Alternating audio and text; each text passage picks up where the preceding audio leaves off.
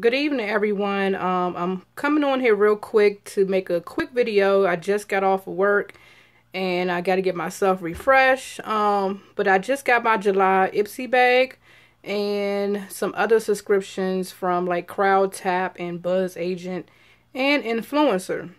So y'all stay tuned. And also I'll be doing a review on, let me pick the product out.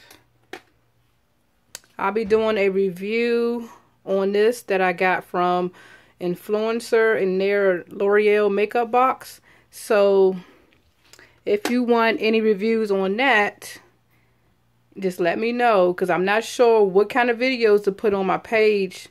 Um, right now it's just uh, subscription boxes. Like if you want to see any type of like makeup tutorials or hair tutorials because I am a natural sister now.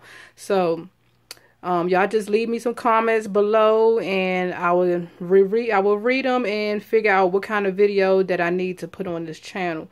Um, again, I just got my Ipsy bag and some other subscription boxes um, today, but I just got off of work and I'll probably put another video up later on today or sometime tomorrow. So y'all stay tuned. Y'all have a good evening.